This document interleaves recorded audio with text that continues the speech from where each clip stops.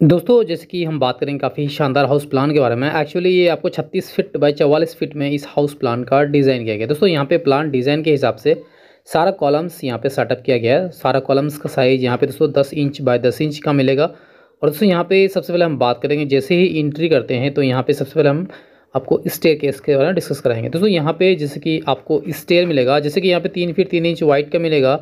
और छः इंच का राइजर मिला है, दस इंच का ट्रेड यहाँ पे मिलेगा। दोस्तों, यहाँ पे स्टेयर इस तरह से फिक्सिंग किया है, जिसके आप दोस्तों देख सकते हैं। तो दोस्तों, इसके बाद हम बात करेंगे, जैसे कि यहाँ पे सारा वाल्स आउटर का, यहाँ पे दस इंच मोटाई का है तो वाल्स हाइट इस तरह से हम ले लेंगे। तो सारा वाल्स का हाइट यहाँ पे, एक सर्टन हाइट यहाँ पे हम डाल देते हैं, जैसे कि दोस्तों आप देख सकते हैं। तो दोस्तों, जब भी आप घर बनाते हैं, घर का कंस्ट्रक्शन कर रहे हैं तो मतलब वाल की मतलब थिकनेस जो है, मोटाई, बाहर वाला नाइन इंच या टेन इंच तो डालना ही चाहिए। मेन पर्पज़ दोस्तों इसका होता है सेफ्टी एंड प्रोटेक्शन के लिए। तो यहाँ पे दोस्तों एक्चुअली विलेज का हाउस प्लान है, गाँव का घर का नक्शा है। तो चारों तरफ़ विंडोज़ रहेगा, उसकी वजह से दोस्तों यहाँ पे सारा वाल्स मतलब आउटर का वाल्स यहाँ पे दस इंच मोटाई की है। दोस्तों आप चाह, चाहे तो इसे पाँच इंच भी डाल सकते हैं, क्योंकि आपका लो जो बियर करता है मीन कॉलम एंड बीम ही करता है इसमें। दोस्तों यहाँ पे जैसे कि हाफ़ वॉल लेंगे एक्चुअली यहाँ पे दोस्तों आधा मतलब वारंडा स्टाइल इसका तो यहाँ पे रेलिंग मतलब ग्रिल लगा सकते हैं। उसके बाद दोस्तों अगर हम बात करेंगे, यहाँ पे प्लिन की बात आता है कि प्लिन कितना हाइट रखे। दोस्तों प्लिन का हाइट कम से कम दो से ढाई फीट रखना चाहिए, या फिर दोस्तों आपके एरिया में वाटर लॉगिंग हो जाता है, या फिर दोस्तों आपके घर के बगल में रोड है तो उसका लेवल देखते हुए आपको कुर्सी यानी प्लिंथ लेवल आपको प्रोवाइड करनी चाहिए। लेकिन दोस्तों कम से कम तो दोस्तों दो से ढाई फीट प्लिंथ का हाइट रखना ही चाहिए। उसके बाद दोस्तों यहाँ पे जैसे कि हमने प्लिंथ का हाइट दो फिट हम यहाँ पे प्रोवाइड कर रहे हैं। जैसे कि आप दोस्तों देख सकते हैं, यहाँ पे भी हम प्लिंथ का मार्किंग कर देते हैं। दोस्तों यहाँ पे साथ देख सकते हैं, हमने प्लिंथ का मार्किंग कर दिया है। जैसे कि दोस्तों यहाँ पे एंट्री जैसे ही करेंगे तो एक्चुअली ये वारंडा स्टाइल इसका हाउस प्लान है। तो वाल्स हम जैसे कि अंदर का जितना भी पार्टीशन वाल्स हमने रखा है दोस्तों, सारा पाँच इंच मोटाई का रखा है। तो यहाँ पे दोस्तों वाल्स का हाइट हम यहाँ पे सारा जितना भी वाल्स है, यहाँ पे इस तरह से ले लेंगे पार्टीशन वाल मतलब अंदर का जितना भी वाल्स है। तो ये भी हम इस तरह से ले लेते हैं। दोस्तों यहाँ पे देख सकते हैं, जैसे कि आपको यहाँ पे वारंडा मिल जाएगा। उसके बाद यहाँ पे एक मेन दरवाज़ा मिलेगा, जो चार फीट बाई सात फीट का यहाँ पे हमने डाला है। तो सात फीट के ऊपर दोस्तों तीन फीट का जैसे कि वाल रहेगा, इस तरह से हम तीन फीट मतलब लेंटल का वाल मतलब ऊपर तीन फीट का वाल जैसे आएगा, इस तरह से इस वाल को हम इस वाल से कनेक्ट करा देंगे। ताकि प्रॉपर दोस्तों डोर का ओपनिंग आपको यहाँ पे देखने को मिलेगा। तो यहाँ पे जैसे ही एंट्री करेंगे तो यहाँ पे लिविंग कम डाइनिंग एरिया में आते काफ़ी ही स्पेस मिल रहा है। उसके बाद एक बेडरूम यहाँ पे मिल रहा है। तो यहाँ पे दोस्तों इसका हम बेडरूम जैसे इस बेडरूम का पार्टीशन वाल्स यहाँ पे पाँच इंच मोटाई की अंदर का है। तो इस तरह से वाल्स हम ले लेंगे। और ये भी यहाँ पे भी वाल है तो इस तरह से इस वाल को हम इरेक्ट कर देते हैं, खड़ा कर देते हैं। उसके बाद दोस्तों, इस बेडरूम के लिए यहाँ पे हमने डोर रखा है तीन फीट बाई सात फीट का। तो बेडरूम का डोर का जो साइज़ है मतलब दरवाज़ा का साइज़ कम से कम तीन फीट बाई सात फीट तो रखना ही चाहिए और मैक्सिमम दोस्तों साढ़े तीन फीट बाई सात फीट। तो ये बेडरूम यहाँ मिलेगा। उसके बाद एक्चुअली छः बेडरूम्स का यह हाउस प्लान है तो सारा बेडरूम्स का वाल इस तरह से ऐसे ही हम प्रोवाइड एक एक करके दिखाएँगे आपको।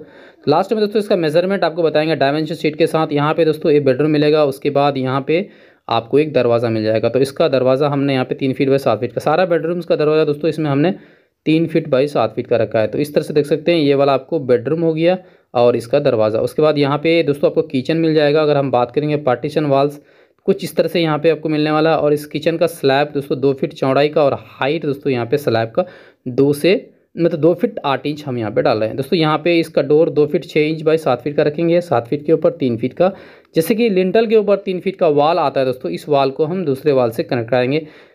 तो यहाँ पे दोस्तों, इस मतलब यहाँ पे आपको सात मतलब ये वाला डोर का ओपनिंग किचन का मिलेगा। दोस्तों, देख सकते हैं, ये वाला आपको हो गया किचन, उसके बाद एक बेडरूम यहाँ पर आएगा। तो इस तरह से वाल्स यहाँ पे हम प्रोवाइड कर देंगे और इसके बाद यहाँ पे बेडरूम का पार्टीशन हो जाएगा। और यहाँ पे देख सकते हैं, इसका भी हम डोर इस तरह से ले लेंगे। जैसे कि आप देख सकते हैं, यहाँ पे सात फीट के ऊपर तीन फीट का वाल कुछ इस तरह से रहेगा। दोस्तों, यहाँ पे एक बेडरूम हो गया। उसके बाद दोस्तों, यहाँ पे बात करेंगे तो एक बेडरूम यहाँ है। Actually six numbers of bedrooms है। तो सारा आपको पाई, दोस्तों, यहाँ पे हम स्टेप बाय स्टेप बताएँगे। एक बेडरूम यहाँ है, इसका भी दरवाज़ा हमने तीन फिट बाई सात फिट का रखा है। जैसे कि सात फीट के ऊपर तीन फीट का वाल आता है, कुछ इस तरह से यहाँ पे हम ले लेते हैं और देख सकते हैं ये वाला डोर का ओपनिंग ये वाला बेडरूम उसके बाद एक कॉरा में एक बेडरूम्स है तो इसका भी वाल्स इस तरह से ले लेंगे तो यहाँ पे देख सकते हैं, यहाँ पे भी दरवाज़ा इस तरह से मतलब तीन फीट बाय सात फीट का रख लेते हैं। दोस्तों, यहाँ पे सारा बेडरूम्स का डोर हमने तीन फीट बाय सात फीट का रखा है। दोस्तों, चाहे तो इसे आप साढ़े तीन फीट बाय सात फीट का रख सकते हैं, लेकिन एक बेड मतलब लेट बात कॉमन यहाँ पे मिलेगा वाल्स पार्टीशन ले लेते हैं।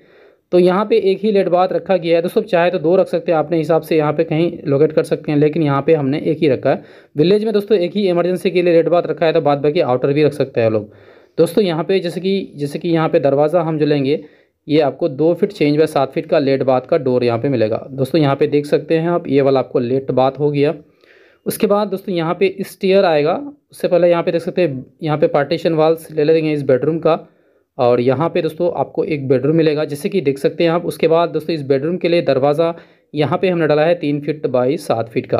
तो दोस्तों यहाँ पे जैसे कि सात फीट के ऊपर तीन फीट का वाल आएगा तो इस तरह से इस वाल को कॉलम से हम कनेक्ट करा देंगे।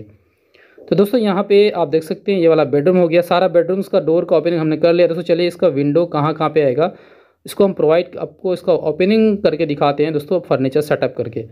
तो दोस्तों, यहाँ पे आप फाइनली देख सकते हैं, सारा विंडोज़ हमने विंडो का ओपनिंग्स हमने इस तरह से प्लेस कर दिया है। तो दोस्तों, यहाँ पे विंडोज़ वेंटिलेशन सारा मतलब डेट बात का वेंटिलेशन सारा हमने यहाँ पे प्रोवाइड कर दिया। उसके बाद दोस्तों, अगर बात करेंगे फर्नीचर्स भी हमने सेटअप कर दिया सारा बेडरूम्स में एंड डाइनिंग एरिया में। कुछ इस तरह से दोस्तों आपको देखने, दोस्तों यहाँ पे देख सकते हैं प्रॉपर साइज़ के साथ हमने मतलब यहाँ पे पार्टीशन किया है। उसके बाद कॉलम्स प्लान के डिज़ाइन के हिसाब से हमने यहाँ पे सेटअप किया है। तो दोस्तों, अगर हम इस हाउस प्लान का मेज़रमेंट की बात करें कि आपको डायमेंशन शीट मेज़रमेंट शीट किस तरह से मिलने वाला है। दोस्तों, हम डायमेंशन की बात करें तो यहाँ पे दोस्तों आप देख सकते हैं, छत्तीस फीट बाय चवालीस फीट का यह हाउस प्लान है। दोस्तों, यहाँ पे जैसे कि वारंडा काफ़ी ही लंबा चौड़ा आपको मिल रहा है, जैसे बात करेंगे तो यहाँ का स्पेस मिल जाएगा आपको। दोस्तों, यहाँ पे 21 फीट आपको 5 इंच बाई दोस्तों यहाँ पे मिलेगा। 21 फीट 5 इंच बाई आपको मिल जाएगा 6 फीट 2 इंच का मिलेगा। उसके बाद दोस्तों, अगर हम बात करेंगे एक बेडरूम यहाँ पे है तो इस बेडरूम पहला बेडरूम यहाँ पे कोना मिलेगा? तो ये बारह फिट छः इंच बाई आपको दस फिट सात इंच का मिलेगा। उसके बाद एक बेडरूम आपको यहाँ पे मिलने वाला है। तो इसका भी दोस्तों साइज़ हम ले लेते हैं दस फिट छः इंच बाई आपको बारह फिट दो इंच का मिलेगा। उसके बाद दोस्तों, अगर हम बात करेंगे एक बेडरूम यहाँ है जो बारह फिट छः इंच बाई आपको यहाँ पे मिलने वाला है, दस फिट छः इंच का। उसके बाद दोस्तों, हम बात करेंगे यहाँ पे इस स्टेयर की बात करें तो इस स्टेयर यहाँ पे दस फिट छः इंच बाई आपको सात फिट चार इंच जगह में यहाँ पे स्टेयर रखा गया है। तीन फिट तीन इंच वाइड का एक स्टेप्स रहेगा। दोस्तों, यहाँ पे किचन अगर बात करें तो किचन का साइज़ यहाँ पे आठ फीट छः इंच बाई आपको नौ फीट का किचन मिल रहा है। देख सकते हैं दोस्तों, आप यहाँ पे प्रॉपर मेज़रमेंट यहाँ पे मिल रहा है आपको। उसके बाद दोस्तों, हम बात करेंगे यहाँ पे लेट बात रखा गया एक कॉमन एमरजेंसी के लिए। छः फीट आठ इंच बाई चार फिट का यहाँ पे आपको मिलेगा। उसके बाद दोस्तों, एक बेडरूम यहाँ है। इसका साइज़ की बात करूँ दोस्तों, ये बारह फिट छः इंच बाई आपको दोस्तों यहाँ पे ग्यारह फिट का मिलेगा। उसके बाद एक बेडरूम यहाँ है, जिसका साइज़ दस फिट छः इंच बाई आपको ग्यारह फिट का मिलने वाला है। दोस्तों यहाँ पे अगर हम बात करेंगे, एक बेडरूम यहाँ है जो दस फिट छः इंच बाई ग्यारह फिट का मिलेगा। दोस्तों यहाँ पे काफ़ी लंबा चौड़ा हॉल है लिविंग कम डाइनिंग एरिया है। तो दोस्तों इसका साइज़ की अगर हम बात करेंगे तो यहाँ पे कुछ इस तरह से मिलने वाला ये दस फिट ग्यारह इंच बाई आपको यहाँ पे मिल है चौबीस फिट छः इंच का। चार इंच का। दोस्तों, इस हाउस प्लान का कंस्ट्रक्शन की बात करें तो दोस्तों 18 से 20 लाख पड़ सकता है डिपेंड करेगा मटेरियल एंड लेबर कॉस्ट उम्मीद करते हैं कि दोस्तों, आज का प्लान बहुत ही अच्छा लगा होगा। अगर अब तक चैनल को सब्सक्राइब नहीं किया तो प्लीज़ चैनल को सब्सक्राइब करके आभार में thank you for watching this video